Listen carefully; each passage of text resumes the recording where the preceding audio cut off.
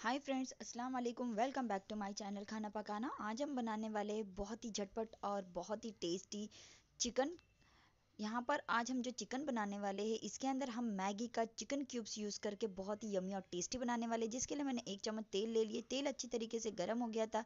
इसमें हमने दो प्याज को जो एकदम बारीक चॉप करके लिए थे, उसे अच्छी तरीके से गोल्डन ब्राउन कर लिया और इसमें हमने एक टमाटर को मीडियम साइज़ एकदम बारीक बारीक कट करके इसमें ऐड कर दिया और वो अच्छी तरीके से जब गल जाए, उसके बाद में हमने यहाँ पर एक चम्मच अदरक लहसुन का पेस्ट डाल दिए और पेस्ट डालकर हम इसे अच्छी तरीके से, इस तरीके से चलाते हुए पकाएँगे।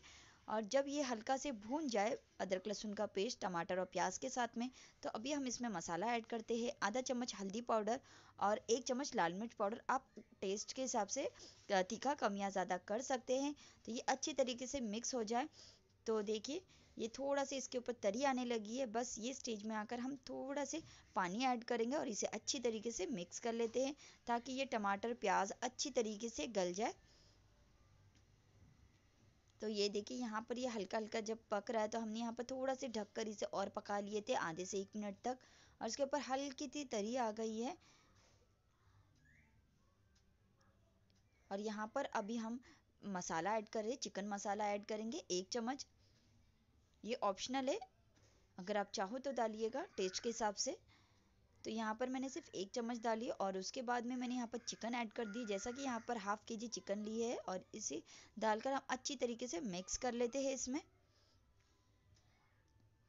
और इसमें स्वाद अनुसार नमक ऐड कर देते हैं। और नमक डालकर भी इसे अच्छी तरीके से मिक्स कर लेना है। और इसमें हम पानी ऐड कर देते हैं। मैं यहाँ पर एक कप पानी ऐड करूँगी और इसे अच्छी तरीके से चला लेते हैं मिक्स कर लेते हैं और इसे ढक कर तीन से चार मिनट के लिए पका लेंगे। तो यहाँ पर देखिए, आज हम यहाँ पर मैगी का चिकन क्यूब से ये यूज़ करने वाले हैं, जिससे कि जो चिकन की रेसिपीज़ है, बहुत ही यमी और टेस्टी बनती है।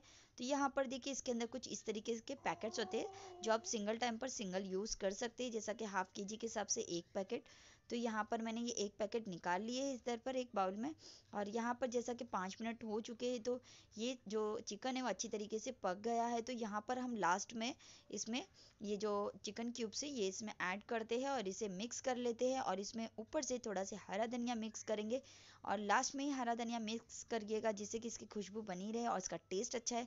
अगर आपको हमारी ये रेसिपी पसंद आती है तो लाइक करिए कमेंट करिए और ज़्यादा से ज़्यादा शेयर करिए। Thank you bye bye